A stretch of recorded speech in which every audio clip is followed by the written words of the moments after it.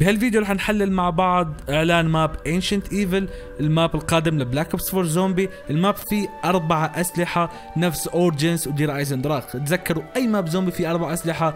تقريبا يعتبر من أحلى مابات الزومبي وهذا ال map فيه أربع أسلحة.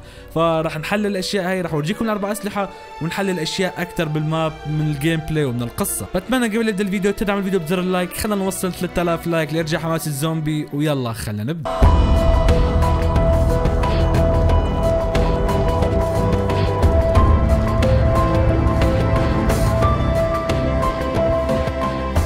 قبل نبدا الفيديو بس حابب أنوه بشكل جدا سريع إنه الفيديو برعاية شركة إبسن وبالذات الطابعات أو الحبر الجديد اللي هو الإيكو تانك. ممكن حد يقول بشار شو الشيء المميز بطابعة أو بحبر؟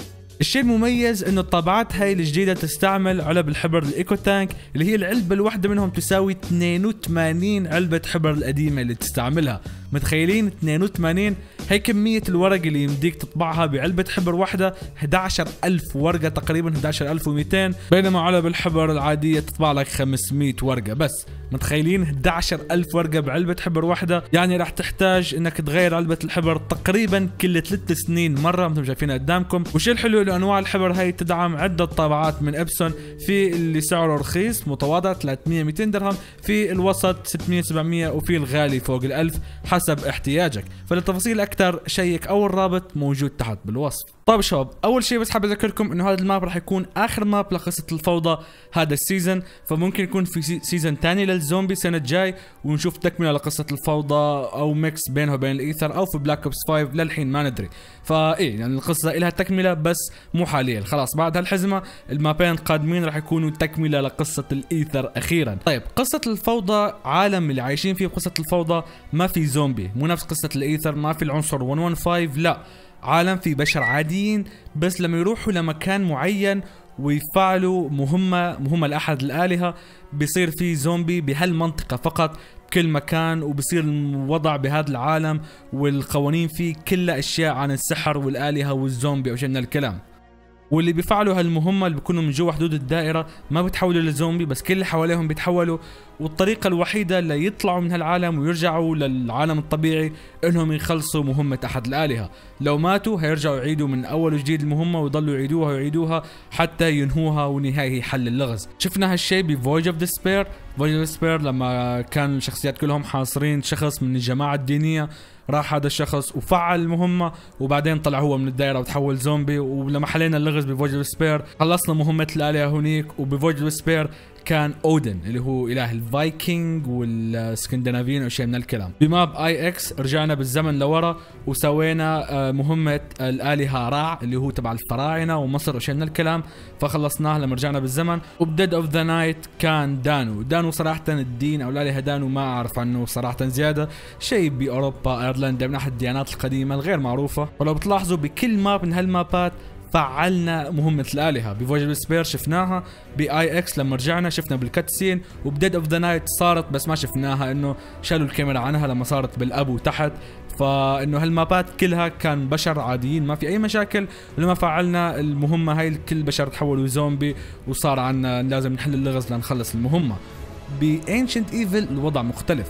أول شيء ب Ancient Evil مهمة الآلهة زوس اللي هو تبع الإغريق أو اليونان. اللي هو إله البرق أو الرعد. وب Ancient Evil لما وصلنا على المكان كان already في zombies ما فعلنا المهمة. من اسم ال map الشر القديم.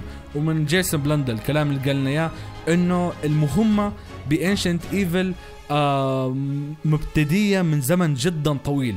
يعني يمكن خلينا نقول من مئات السنين ناس بدأوا المهمة ب Ancient Evil بهالمنطقة وما خلصوها. ما حد خلصها مشان هيك شايفين زومبي بكل مكان.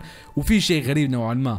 في هالشخص البنت المحبوسة هاي ال oracle هاي اللي كانت تكلم شخصياتنا ب IX هي اللي ساعدتهم يرجعوا بالزمن ليخلصوا مهمة را ب map IX. ولو بتلاحظوا كل map من المابات آه في له Sentinel Artifact هاي القطعة اللي بتخلينا نفعل آه مهمة هذا ال map. فب Ancient Evil بنشوف القطعة هنيك موجودة آه ومحتجزة فإنه ناس فعلوها فعلا وما خلصوها. ومثل قلت لكم مرة ثانية في شيء غريب. لأنه مثل في هاي البنت المحتجزة ال Oracle وحكت إنه محتجزة هون لفترة جدا طويلة وأبوها لشخصية سكارلت محتجز هون. والواضح أن الأوردر الماسونية أو الجماعة الدينية اللي يلبسوا أقنعة ذهبية لهم علاقة لأن هم اللي خطفوا أبوها لسكارلت وحبسوه بهالمكان. فإنه إيه هي مهمات من الآلهة وفي سحر بس هالجماعة الدينية إلهم هدف من وراء هالشيء كله. ما نعرفه حاليا بس لما أسوي فيديو شرح قصة آه الفوضى بشكل كامل إن شاء الله إن شاء الله قبل ما ينزل الماب القادم الثلاثاء راح أسوي فيديو أشرح فيه القصة كاملة. ممكن وقتها نعرف شو هدف الجماعة الدينية هي. بس بهالفيديو بس أبي أحللكم الإعلان وأعطيكم فكرة عن قصة ال map. وال map هو الأخير هذا حاليا. أول map بقصة الفوضى عنا اياه Dead of the Night بعدين Voyage of Despair بعدين IX وحاليا Ancient Evil طيب هاي أعطيتكم مختصر بشكل جدا سريع قصة ال map. هلأ خلينا نحلل الإعلان أشياء اللعب ال gameplay الأسلحة الأشياء الحماسية. طيب هذا ال map راح يكون عندنا فيه أربع أسلحة نفس Origins نفس Der Eisendrache نفس Voyage of Despair Voyage of Despair في أربع أسلحة بس يعني ها ما ما كتير آه، خرافية وما كتير حبيناها. هون لا في أربع أسلحة عندنا أول واحد القفاز لونه ازرق أظن هذا له علاقة بزوس الكهرباء. بعدين عندنا القفاز الأحمر اللي طالع منه جمجمة. أظن هذا له علاقة بأودن راح يكون قفاز نار أو شيء من الكلام. الأول أزرق كهرباء زوس كهرباء. بعدين الثاني جمجمة أحمر وله علاقة بأودن. بعدين شفنا واحد لونه أخضر فالأخضر في دانو الالهه دانو البيرك دانو. فراح يكون له علاقة شيء بالأرض.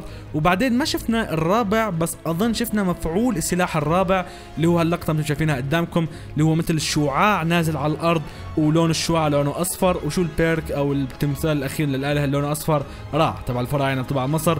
فشكله في أربع أسلحة. تذكروا أي ماب في أربع أسلحة من أحلى مابات الزومبي يكون. يعني أنا سويت فيديو من فترة ترتيب جميع مابات الزومبي من الاسوء للافضل كان رقم ثلاثة كأحلى مابات الزومبي Der Eisendrache في أربع أسلحة وأحلى map Origins كمان في أربع أسلحة.